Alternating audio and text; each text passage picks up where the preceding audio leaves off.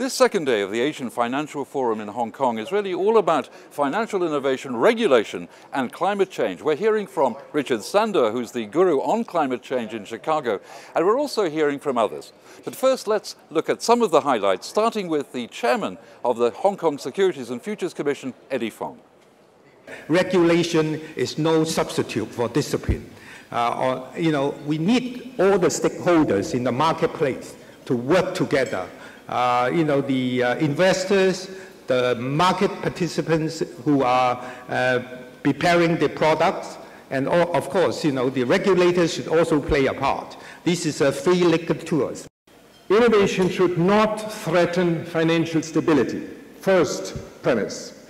Second premise, innovation should not undermine investor protection. We really need to um, seek a fine balance between these two. Uh, I think in the crisis uh, period, there might be a tendency of uh, over-regulating. And I think we should wait for a while to, to reach this balance. But in China, I think uh, we are in the period of uh, further liberalizing the market. Uh, back to the question of investor protection, I think both the regulator and the, the investor should do their due parts.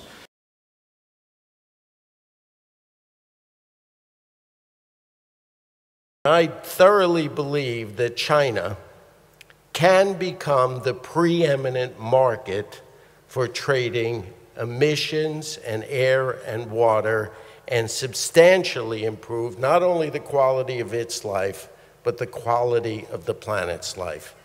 The talk of sanctions due to some political reasons, not economic factors, is harmful to the world economy.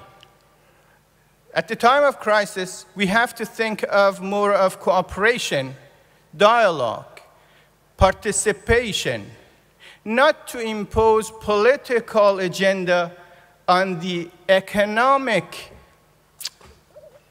situation of the world. Encouragement of consumption has been uh, given an equal sign with patriotism. But that is against the thousands of years of values of the Chinese. Now, wastage is equivalent to patriotism. There is a contradiction there. What is the pro problem there? Is it the media? Is it the central government? Is it the people? Consumerism has been equal, made equal as patriotism, there is something wrong. I think we should be encouraging raising of living standards and not uh, consumerism.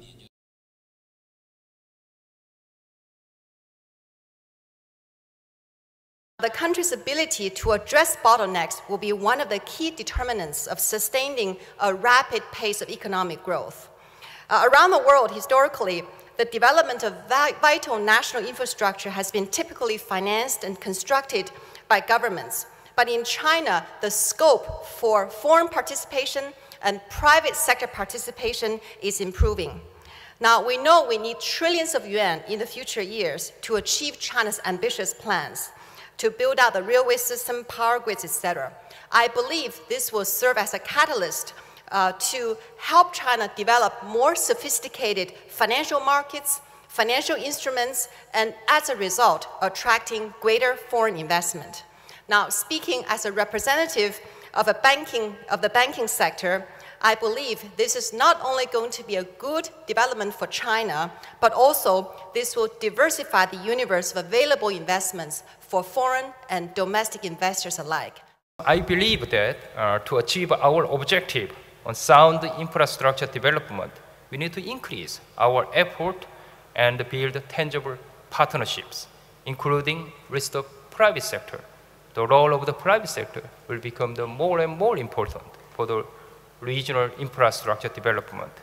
In this regard, I think an important event like Asian Financial Forum today will be great beneficial to discuss these issues and attract interest of the private sector. I believe that the government has to uh, provide more money to uh, leverage the, uh, the, the, the, situation so that the private infrastructures come or they uh, finance by themselves. So irrigations, uh, rural infrastructure, for example, they are not sexy for the, for the investor. So the government has to pay for themselves. But the second type, the infrastructure which is economically feasible and financially feasible, this is the one that we have to, uh, to do our best to attract private investment to come. And certainty and clarity is, is two keywords that uh, being you know, asked by our dear uh, investor so that the regulatory framework, I guess, has to be very transparent, accountable, and also give a lot of uh, easiness in doing business in one country. We are looking at some uh, sort of financing schemes working with Ch Chinese financial institutions to try to help uh, industry and small business retrofit uh, to use water more efficiently.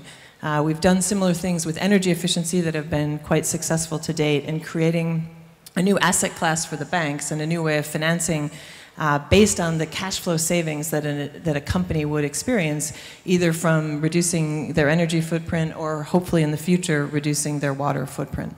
The Chinese government and the Chi China as a country enjoy a tremendous advantage because in the banking system we have 8.5 trillion US dollars worth of savings, which remain untapped a lot of this money could be lent out in the form of infrastructure loans. But also, speaking earlier about the bond market, uh, there's a lot of need for institutional investors, such as the Social Security Fund, insurance companies, to buy long-term bonds, which are actually lacking in China. So if infrastructure bonds are um, available in the Chinese market, they could not only finance long-term infrastructure projects, they also provide a channel for institutional investors to invest in this new vehicle.